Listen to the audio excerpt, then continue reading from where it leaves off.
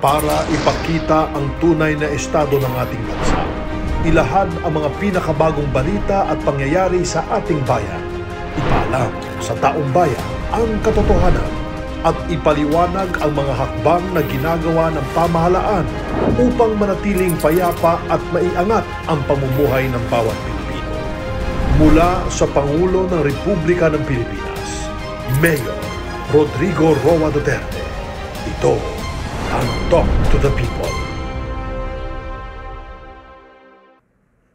Next, uh, I'd call on uh, mm, Secretary Anyo. Uh, dapat mauna ka because uh, we need to be more awake uh, dito sa ano mo. Yung iba papikit-pikit na kasi kagaya kay itong kay Roberto, uh, uh, superstar ka naman, uh, hindi kailangan. At uh, itong sa MMDA. Let's go national first dito kay Secretary Anya. Magandang gabi po, Mr. President, uh, Executive Secretary Bimbo Migueldea, Senator Bongo, fellow public servants, mga kababayan, magandang gabi po. Ah, bago po simulan yung ulat, kanina po nabanggit ni Secretary Mon Lopez yung naganap noong March 2020 na kung saan po ay nagsimula tayo ng ating lockdown. Panahon po noon ay wala talaga tayong healthcare facilities. At natatandaan ko, mga 1,500 lang yung ating test kit. At ah, panahon po na yon talagang pumasok po yung tinatawag natin na surge. And you made the decision, your decision, Mr. President, save probably 100,000 lives. And yes, others says 200,000 lives. Pero ngayon po nakita natin na maganda po talaga yung ginawa nating pag-handle ng COVID-19. And ngayon po, this is uh, actually a matter of hours, one hour and few minutes ay uh, papasok na po tayo sa alert level 1. So talagang very historic po. And uh, we can say po na we are prepared to implement alert level 1. The LGUs, the PNP, the law enforcers, the national government agencies, the MMDA, nakahanda po kaming i-implement ang alert level 1. Ang uh, simulan ko po ang aking ulat, Mr. President, dito po sa ipinamamahagi nating ayuda sa mga nasalanta ng Typhoon Odette base po sa inyong kautusan. Makita po natin na sa total na pong 4.85 billion na ipinamimigay, nakapag-distribute na ng 3.78 billion or 77.94%. Total po ng beneficiaries ay 2,525,440 persons or individ- individuals. At makita po natin na mataas ang distribution sa Region 4B at sa Region 13 or Caraga. Pero ang pinakamarami pong natanggap na ay ang Region 6. So patuloy po natin i-monitor to at sisiguraduhin natin matanggap ng ating kababayan ang mga tulong at walang masasayang na pera o mapupunta sa ibang bulsa. Next slide please. Sa ating pong patuloy nagbababa ng kaso, ay patuloy naman po ang pag-implement natin ng granular lockdown. Kahit po sa alert level 1, ang mga LGUs ay magsasagawa pa rin ng granular lockdown para sigurado na mati-check pa rin po natin kung sakaling magkaroon ng transmission sa isang lugar. So bahay, karsada, block, o barangay ay pwede pong ilagay sa granular lockdown. Sa buong bansa, 21 LGUs or 104 barangays ang nagsasagawa ng granular lockdowns. Total of 187. Sa National Capital Region ay 16 na lamang. At uh, naapektuhan ay 215 households at 289 individuals. Next slide, please. Sa ating pong uh, nakalap na ulat sa mga recorded violations sa community health protocols, nakikita rin po ang pagbaba sa mga violations. Sa hindi pagsusot ng mask, bumaba ng 7.54%. Sa mga mass gathering at no physical distancing ay bumaba rin po. Ah, sa ating alert level 1, sa mga LGUs na mayroong alert level 1, dito na po tayo magpo-focus sa hindi pagsusunod ng mask.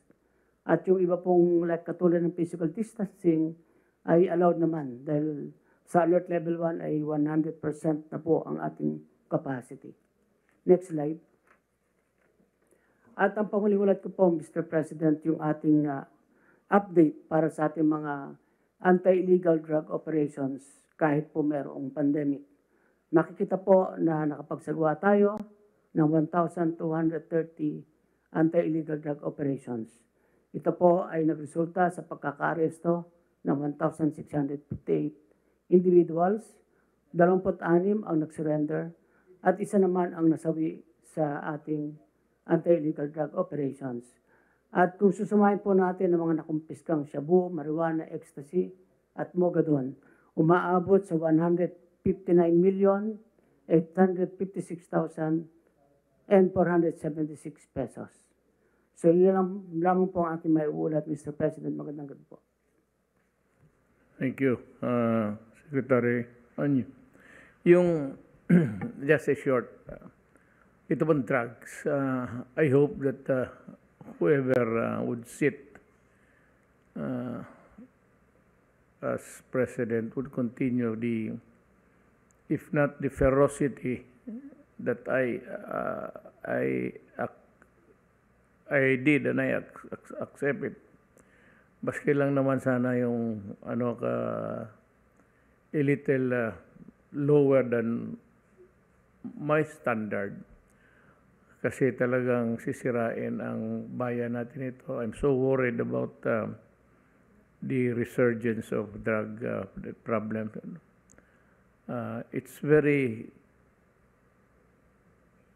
almost it destroys your spirit kasi makita mo yung pinuputulan ng ulo tapos the recent one was yung nirape niya yung anak niya tapos ipinasok niya doon sa kanal doon sa likod ng bahay niya. Uh, the, there was this alarm. He was the one who issued the alarm with his uh, missing daughter. Then it was found out that he raped the child his daughter killed her at tinago niya doon sa imburna sa likod ng bahay niya. Ito yung mga ito yung it simply drives me crazy. Itong mga ito na putulan yung ulo ng asawa mo and it is happening every day. It has been there since the inception of the drug problem ang uh, never, mind about the ICC, uh, wala akong pakialam diyan. I'm I'm does not worry me a bit, you know. But it itong sa drugs, I just hope that uh, somebody uh, maybe kung hindi yung talagang presidente would uh, find the resolve to just continue with the drive against drug because I said uh, it will it it will destroy our country. It will really destroy our country. At uh, you know, lahat tayo mat- we're getting old. As a matter of fact, we're about to make to make the exit na. eh. Ang problema is the next generation you have to protect the next generation because if not, then they will have a serious problem in their hands. Kung ganito katan, katandi, uh, tindi ngayon ng papamalakad nila and addressing the nation, kung hindi mo sabayan ng katindiri ng iyong uh, resolve, eh, matatalo And I'm not saying that I am an exception to yung sa iba na ano. In the degree, we differ in the degree of uh, uh, ayaw ko kung ano. I'm not trying to pull my own chair, but uh, Kasi nung una makikita mo, 3, 4, 5 arrest. The reason why, alam na dapat malaman ninyo, the reason why was there was no uh, really a true blue, full-blooded program against the drug because the policemen there and the military were afraid to make a move. Kasi kakasuhan sila ng katutak eh. Alam mo, yung isang pulis, ha? I, I hope to, Bingbong, kindly, ano dito, alam mo, isang pulis pa demanda, eh, patrolman. Meron siya dyan sa regional, yung, yung, yung iniimbestiga siya sa mother unit nila. Iimbestigahin sila ng regional. Ipapatawag pa ng Polcom. Tapos ipapunta pa sa ombudsman. Kaya noon, ako alam ko kasi mayor ako and I know what they had to undergo. Kaya talaga takot. Wala nang bigas dadating sa makalusot ka dito sa Polcom, tatawag ka naman ng ibang opisina. Eh, ilan lang, wala silang recourse because they, they cannot even afford a lawyer. Kaya sa aking panahon lang sa Davao, na pagka-performance of the duty, fulfillment, tapos nasabit, talagang binabakapan ko. Sabihin ko na sa bayan ngayon, pag ang polis o military nasabit sa trabaho, fulfilling his duty as a policeman or as a military man, enforcing the laws, especially against drugs. Pag nasuspend yan, ako ang nagbabayad sa sweldo. Tinatanong ko, how much is your take-home pay? Sir, minus-minus sa lahat, sir, ito lang matanggap. Okay. Tapos bigyan ko ng abogado. Tapos lakaring, lala, nilala, hindi ko sinasabi na sa pulkom na i-dismiss nyo, hindi. Sabihin ko, tignan ninyo yung, ano, kasi pag yung ah, demanda, abuso, abusive caps, or magpabuto ng paputok ng baril kasi lasing o ano, ay talagang hindi lang hindi lang sa pulko sa akin pa lang bugbog na yan. Sa totoo lang. Hindi hindi hindi ako matapang pero binubugbog ah, alam ng pulis na bugbogin talaga kita. Kaya ang ilang iniiwas nila doon yung mag-ubuso kasi sipa pati sampal ang maabot nila sa akin plus ngayon pag may puro yung itong paano mo ba't bubugbogin niya nagtatrabaho kinakaputihan ko. Because I do not want, I said, for a policeman or a military man to go to prison for performing his duty. That is a stupid proposition to me. Hindi talaga ako papayag. Kaya yung mga pulis sa panahon ko sa Davao, nagtatrabaho. Hindi sabihin ako yun. Sila yun, nagtatrabaho kasi hindi sila takot. Ngayon, yung ako na si sila, bato na, I gave the same. Ano. If you have to kill, it must be in the performance of duty. Then what is that? That in fulfilling your duty, you are exposed to danger and you think that the idiot will fire at you, maunahan ka, uunahan mo na because I do not want to see a policeman dead.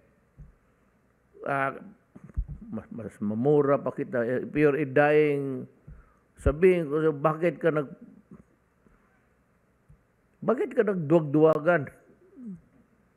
Ito yung unahan mo na pag nasa, ano ka, it, trabaho mo yan eh. Your trabaho is to kill criminal. Eh, itong hmm, European ICC, that's an idiotic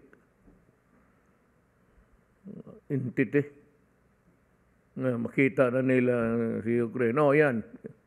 Yun, yun, yun, yun, yung ICC ninyong putang ina. Kaya yung ano, yan dyan ang uri ko sa report ni Secretary Anyom. I am glad that uh, he has been, uh, uh, he continued with the, the, the program. Although not, as I said, uh, ferocious when I was the one kasi ako yung mayor. Eh. I will not admit anything, but uh, with the ferocity that I, takot talaga. Pati yung dito. But mind you, ay lahat ng big time, lahat ng big time dito sa Pilipinas na sabi ninyo maliliit. You look, you read the newspapers of yesterday. Lahat dito ng mga drug, drug lord, mga mayor. Well, I said, uh, I'm sorry that uh, they were killed in, in a gun battle with the police. But uh, serves them right. Sinabi ko sa police, huwag kayo magpauna. So yung police ko, uh, raid ng raid, hindi natatakot na pumatay. Ang problema kasi noon, pag nakapatay ang police, diretso Sabi ko, do not do that. Ito yung pool ko. Bakit, bakit mo arrestuin? Find out first. Investigate. Just do not say na suspended ka. Alam mo, pag suspended ang pulis, wala nang, wala nang pagkain yan. Kaya dinubli-dubli ko yung sweldo. Once they are suspended, pag may nag-complain, eh, patay ang pulis wala na yung pagkain sa anumang. Kaya, mangilkil, yung mag-extort kasi survival eh. Ngayon, kung bigyan mo lahat, o oh, sige, ito suporta mo, ito abogado mo, o ito yung, o ano pang kulang mo. At yung lahat ng mga, mga pulis sa Davao, ay, dito rin, dito, ginawa ko rin. Yung mga asawa may cancer ganun. Yung medication sa akin yan. Sa Davao akin yan pero pag nagkasakit ka pulis dahil sa in, in, mag-inuman ka doon naubos yung kidney mo. Tang ina bigyan kita ng gin hinebra. Isang karton ubusin mo. We'll go to uh, Secretary Andanar.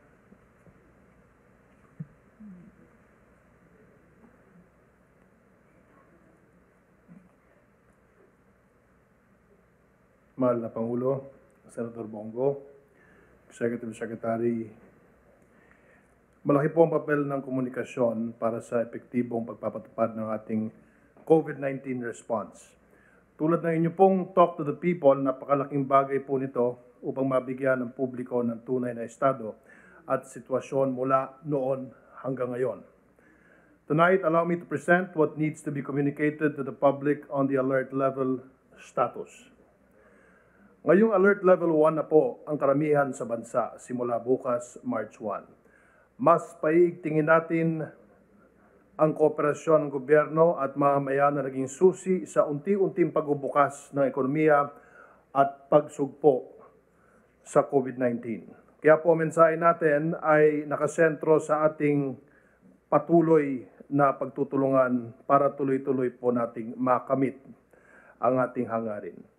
Lagi nating ipapaalala na hindi natin makakamit ang Alert Level 1 kung wala ang pag-iingat at pagsunod sa mga minimum public health standards at pagpapabakuna. Mask up, get boosted, good airflow pa rin ay higit nating paitingin. Patuloy din po nating palalawigin ang prevent, detect, isolate, treat, reintegrate vaccination or PDI TRV strategy. As we embrace the new normal, Mr. President, we have to work together as one nation to achieve our long-term goals hindi lang nakasalalay sa gobyerno kundi sa ating pagiging responsabling Pilipino ang pagbangon mula sa pandemya.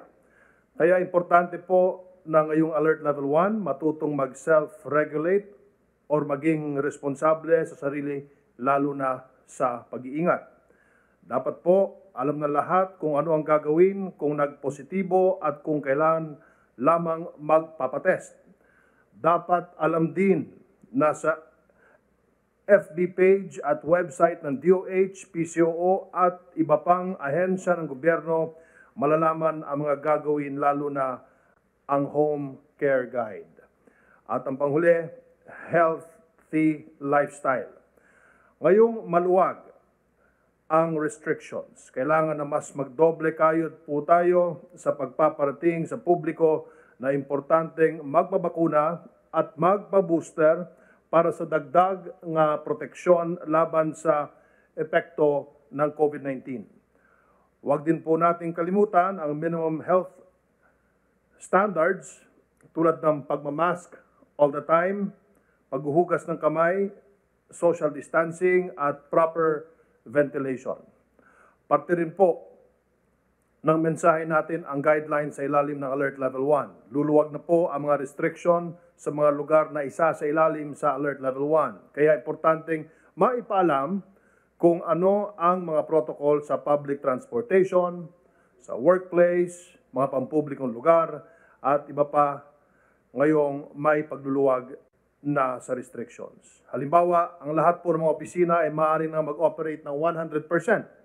Kung kaya't ang pampublikong sasakyan ay papayagan na ring mag-operate ng 100%. Para mas epektibo po ang ating mensahe, itutuloy po natin ang paggamit ng mga existing communication strategies ng PCOO para sa paghahatid ng impormasyon sa publiko. Ito po ay sa pamagitan ng ating mas pinalakas na government media tulad ng PTV, PBS Radyo Pilipinas, Philippine News Agency, Philippine Information Agency, PCO online pages, RTVM, Bureau of Communication Service at ang IBC. Magpapatuloy po ang pagtalakay sa Laging Handa Communications campaign ng PCOO, Laging Handa Public Briefing, Network Briefing News, sa Presidential Spokespersons Briefing, at virtual pressers para sa local at international media. Nakatuwang po natin sa paghahatid ng mahalagang impormasyon. Kasama rin po natin sa paghatid ng impormasyon sa publiko ang ating private media partners tulad ng Kapisanan ng mga Broadcaster sa Pilipinas o KBP at iba pang media na hindi tumigil sa pagbabalita kahit pandemya. Maraming salamat po sa inyo. Gagawa rin po tayo ng mga advertisements, public service announcements, audio-visual presentation or explainer, documentaries, publication materials, mga social media content tulad ng quote cards at infographics para bigyan linaw ang mga katanungan po tungkol sa Alert Level 1. Hindi lamang po sa traditional media, paigtingin din po natin ang information dissemination sa digital media at out-of-home advertisements.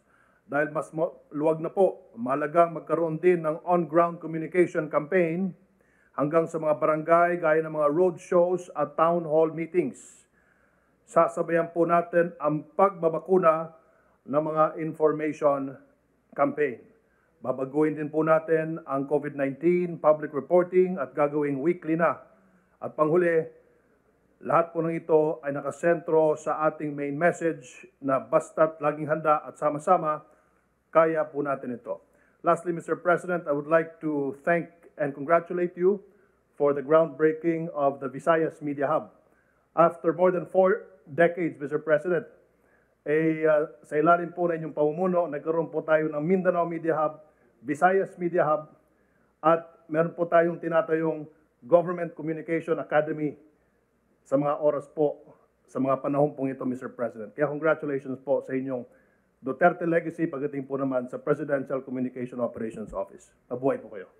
Actually, it's not mine. It's yours. Uh, to the uh, yung nagtatrabaho, workers in government to made possible itong ganito na mga sitwasyon na you created as a hub. Uh, Mr. President, if I may, uh, talagang pinahirapan po kami dito sa Visayas Media Hub. Ito po ay nasa budget po ninyo.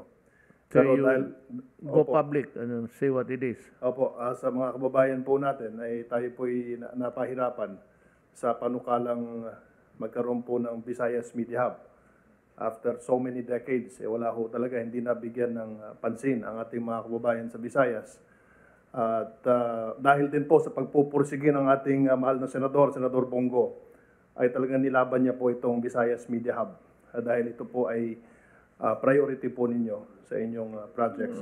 At the same time, Mr. President, uh, ako po nagpapasalamat sa inyo, sa inyong suporta dahil ito pong panukalang batas na tinatawag nating Media Workers Welfare Bill ay uh, nakapasa na po sa Kongreso at nasa Senado na po. Eh, this is for the first time in history dahil po priority po ninyo ito mga Mr. President ang uh, protektahan ng ating mga kasamaan sa media ay meron po tayong posibleng maging batas na Media Workers Welfare Bill. Ito po ay uh, on top of, you know, your administrative order number one, Mr. President, the Presidential Task Force on Media Security. Kayo po yun, Mr. President.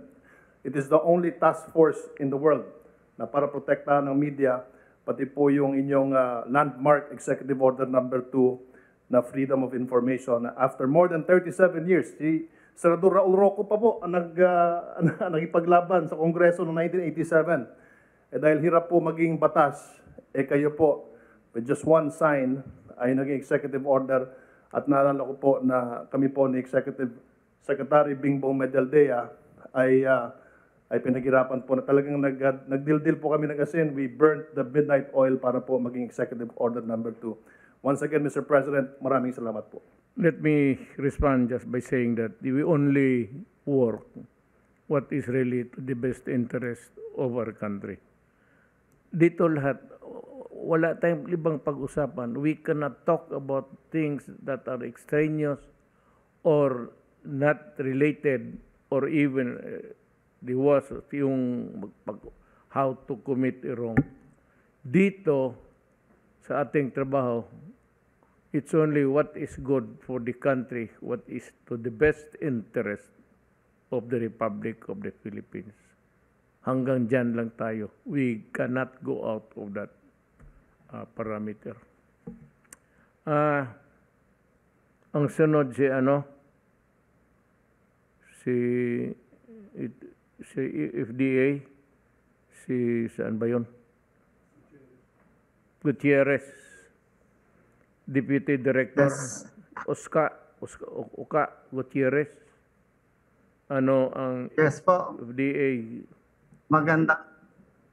Magandang gabi po, mahal na presidente. Magbibigay po ako ng updates. Ah, ito po yung tungkol sa mga COVID-19 drugs natin. Meron po tayong emergency use authorization na na-issue para sa ating Ronaprib Molnu- Molnupiravir. Ito po yung Molnupiravir na yan.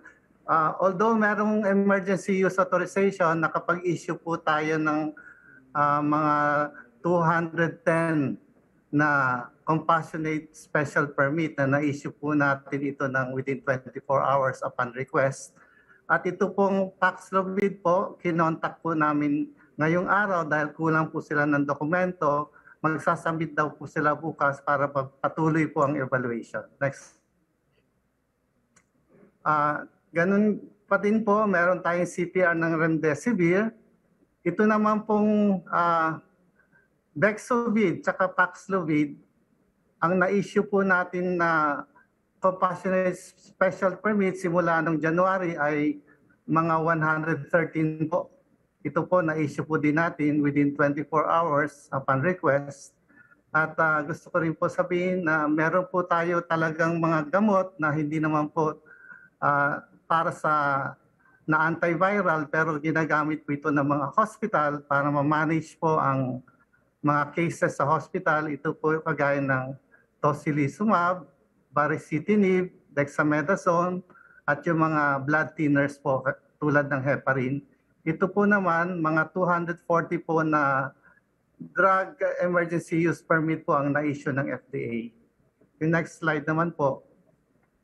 Dito po, kung matatandaan niyo po, mahal na Presidente, gumawa pa kayo ng directive na we should lessen dependence on imported vaccine and capacitate the development of our own vaccines in the country.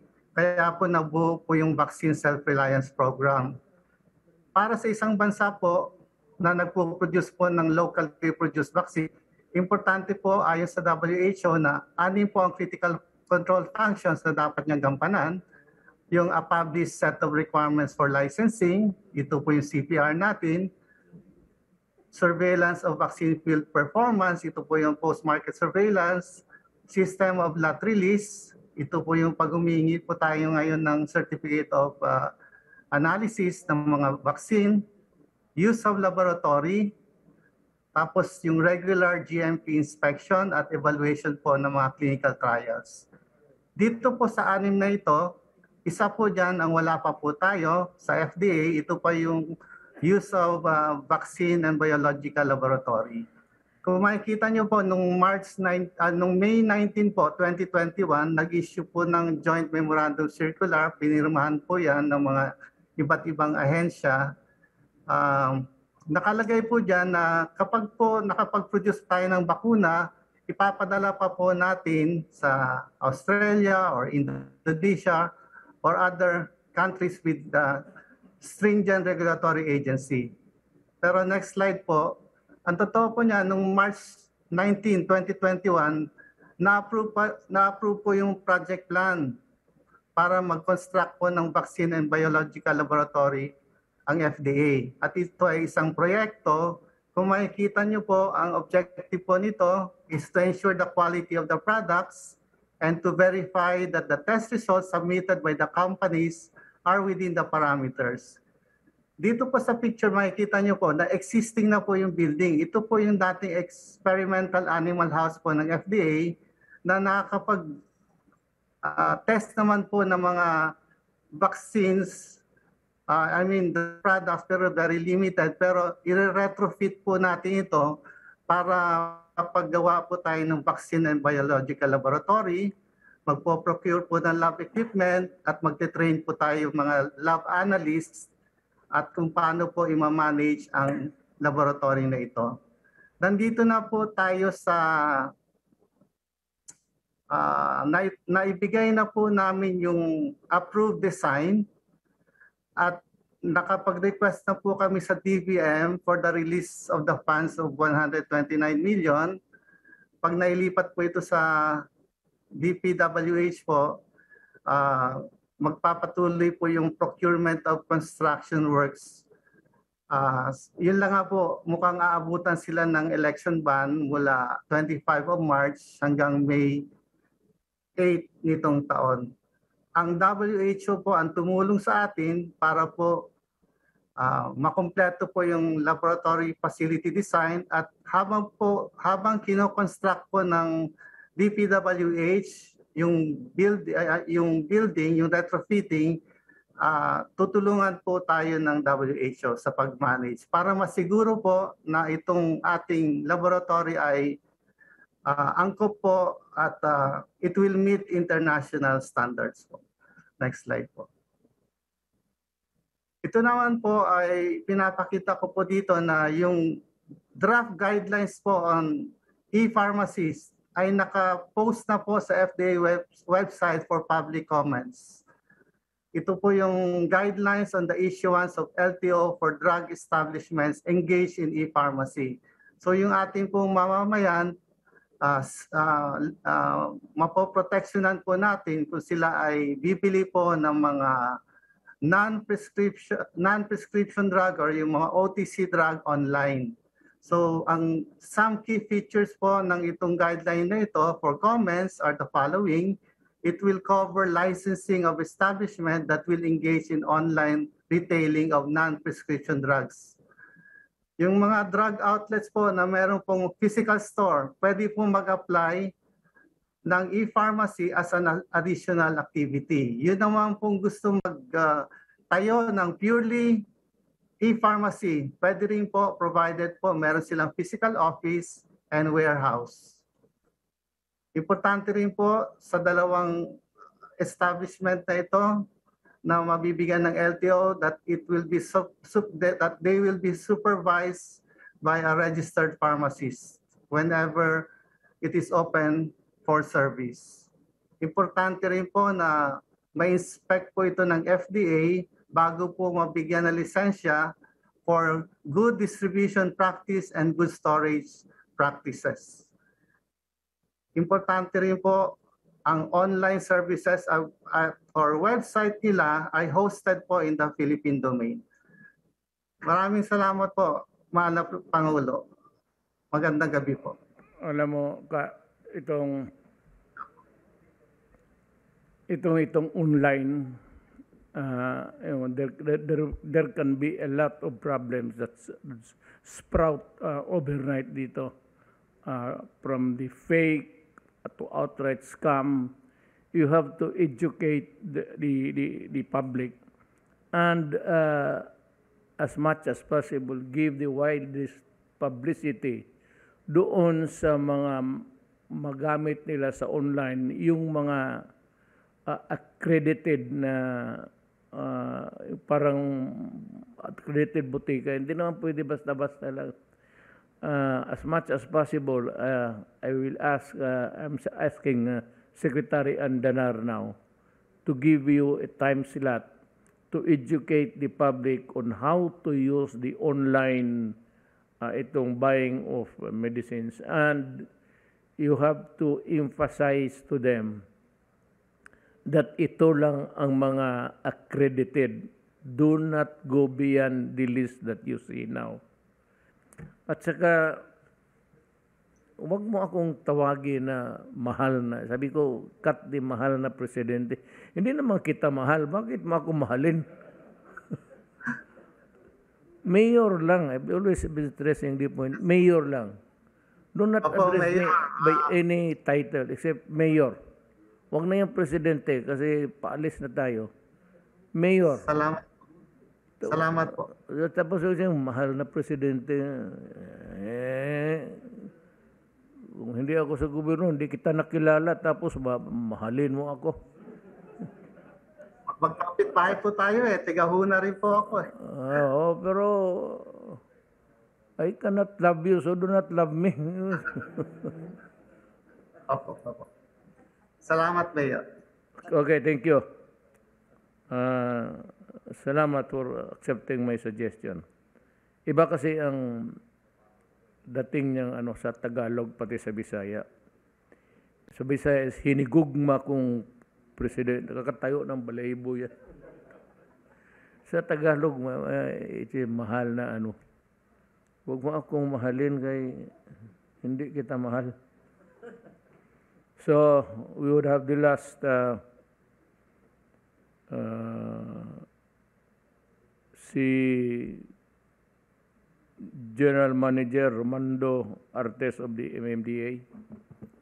Uh, Good evening po, Mr. President, kay Senator Bongo, kay E.S. Metialdea at sa Cabinet Secretaries po na nandito ngayon. Magandang gabi po. Ang aking pong ulat ay tungkol po sa paghahanda ng Metro Manila Mayors at ng MMDA sa pag-implement po ng Alert Level 1 sa NCR. Uh, two weeks ago, Mr. President, ang Metro Manila Mayors ay humiling po sa inyo at sa IATF na extend hanggang February 28, 2022 ang Alert Level 2 sa NCR. Ito po ay para pagpreparahan ang de-escalation ng NCR to Alert Level 1 starting March 1, 2022. At ito po ay para rin po i-monitor, Mr. President, yung epekto po or posibleng pagtaas ng kaso dala po ng malakihang mga rallies at motorcades sa pagsisimula po ng campaign period. After two weeks po, uh, nakita naman po ng Metro Manila Mayors ang uh, nawala naman pong epekto sa pagtaas ng kaso sa COVID ng COVID-19 ang mga rallies na ito at patuloy pong bumaba yung kaso ng COVID-19 sa NCR. Kaya po nagpasa po sila ng MMC Resolution 22-06 na humihiling na po na i-escalate ang NCR sa Alert Level 1 starting March 1, 2022. Next slide please. Ito rin po ay base sa pagpasa or pag-qualify ng NCR ayon sa bagong metrics para sa Alert Level 1 dahil labing pito po na LGUs or lahat ng LGUs sa Metro Manila ay na-classify na po, Mr. President, as low risk. 101% ng target population po ng NCR ay bakunado na. At gayon din po ang A2 or ating senior citizens ay 88% vaccinated na po sa Kalakang, Maynila. Next slide please. Matapos pong maianunsyo, Mr. President, na ang NCR ay isa sa ilalim na sa Alert Level 1 starting March 1, agad po natin pinulong ang Metro Manila Council kasama po sila Sec Vince Dizon, si Sec Charlie, ah, si Sec Ed Anyo at si Sec Mon Lopez kasama rin po ang mga kawani ng DOH. At dito po ipinaalam natin sa mga Metro Manila mayors ang bago pong guidelines or protocols na ipatutupad po under Alert Level 1. Ah, meron po mga katanungan ang mga Metro Manila mayors at meron din po silang issues or concerns na ni-raise during sa meeting na ito na agad naman pong nasagot at natugunan ng ating mga cabinet secretaries. At dahil po dyan, inihayag po ng Metro Manila mayors ang kanilang kahandaan na ah, i-implement po yung mga bagong protocols at guidelines para po sa Alert Level 1. At nag-agree rin po kami na this week po, probably Sunday, magmi-meet po uli kami upon suggestion po ni Sec Ed Anyo na magbigay po ng feedback or assessment ang Metro Manila mayors para po magkaroon tayo ng adjustment sa mga protocols at policies ah, para po ma-implement ng mas maayos ang Alert Level 1 system po natin. Alam naman po natin at pinapakita po ng performance ng mga Metro Manila mayors na efficient po sila sa pag-implement ng mga bagong policies dahil kalimitan po ito ay pinilot test po sa NCR. Next slide please. In fact, Mr. President, ipapakita ko lang po, ito po ay compilation ng data na ginawa ng Taguig City sa pangunguna ni Mayor Lino Cayetano. Ipinapakita po dito ang iba't ibang datos ah, na kinukumpara ang NCR sa iba't ibang cities po sa buong mundo na at dito po pinapakita na ma- maganda po ang ating ah, resulta dahil meron lamang pong 105 deaths sa NCR per 100,000 population. Ito po ay mas maganda kaysa sa New York City na mayroon 451 deaths. Sa LA po, 698 deaths. Sa London, 182. Sa Madrid, 398. At sa Moscow po, 305 deaths per 100,000 population. Next slide, please. Ah, bilang paghahanda din po sa implementation ng Alert Level 1 sa NCR, tayo po ay nakipagpulong sa mga mall operators, sa ah, business sector at sa restaurant operators at ganoon din po sa transport sector, particularly po yung ating um, city bus operators. In-inform din po natin sila sa bagong guidelines ng Alert Level 1. At sila po, mahal na Pangulo, oy sorry po, Mr. President, ay nagpapasalamat sa pag-allow po under Alert Level 1 na mabuksan ang kanilang negosyo ng 100%.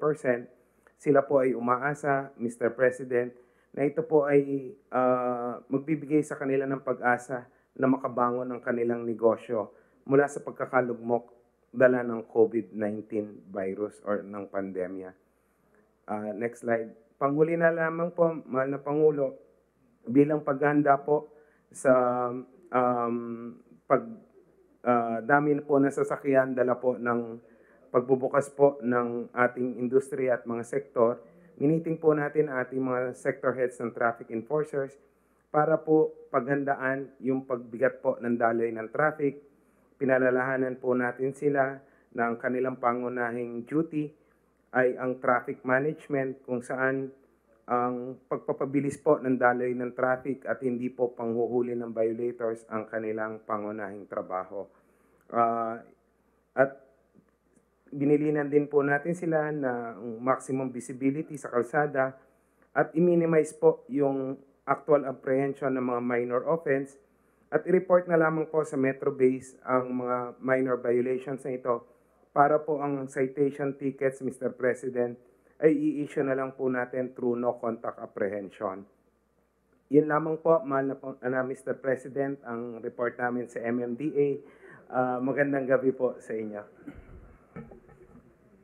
Basta ako si Rudy, bahala na ako sino yung mahal mo dyan. Yung, let me just, uh, uh, we- will be through, mga three minutes. You know, every day, thousands of cars are sold. But it is not uh, surprising to see that there's only a few, uh, maybe hundreds of uh, motor vehicles that are retired because of dilapidated condition or, or whatever. Yung, kukunti lang ang lumalabas.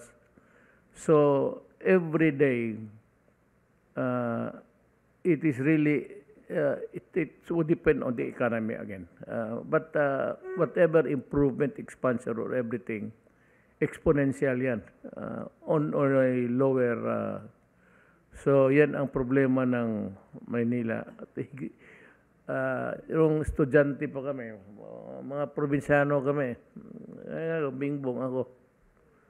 Davao kami. Ah, nag-aral kami dito and uh, I used to have, uh, binigyan rin ako ng sakyanan ng, ito si Volkswagen. Nakita ko yung panahon ko noon, ano na, yung going dito sa YMCA just beside the Manila o City Hall, yung SM ngayon, yan ang dormitory ng YMCA. There were about 300 of us, 1, 2, 3, 4 uh, floors. Makita kami, maglabas kami lahat uh, sa umaga. Yung iba nakakotse, yung iba naglalagad. Uh, over the years, kung matignan mo, the population is uh, also going up. Uh, pag hindi ito na ano, the next administration should also uh, concentrate on building more uh, elevated uh, para ma, ano to to for us to move just to move around uh, not really on time always late but at least uh, that we're able to move and be productive for that day. Kasi kung hindi ka makakagalaw some people might just opt to you know, hold office yung ganon but it is not really as good as uh, you know itong face to face gaya rin ng eskwelahan ganito.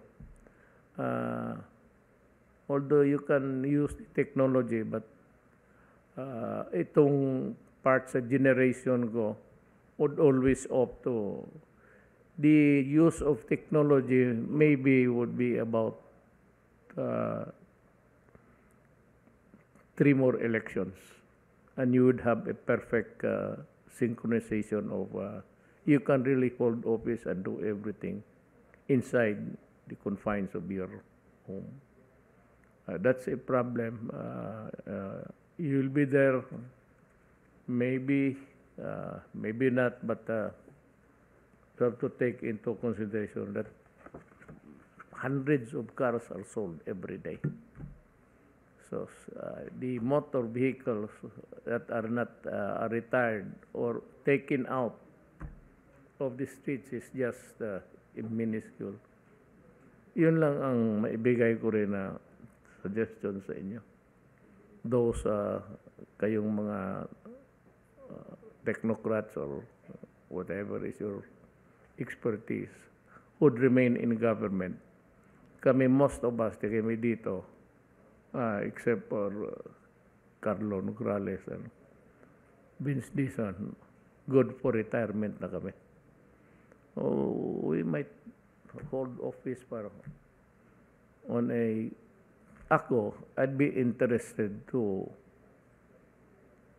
pass on to the next generation kung ano yung mabuti na gawa namin para sa eh, Davao. Kopyahin na lang. I, I can pass it on to sa next day. Ito ang gawin ninyo. I could trying to if I could go I'll teach uh, hindi na sa law uh, mga subjects sa AB mas mas malawak eh uh, ngayon yun, ganito we have a kaya na nga, have a problem we have to tell the younger generations of what's what is at stake. Uh, remember, it would also affect them if somebody something goes wrong, if somebody goes crazy. Uh, it behooves upon now us to do everything, and uh, tama yun.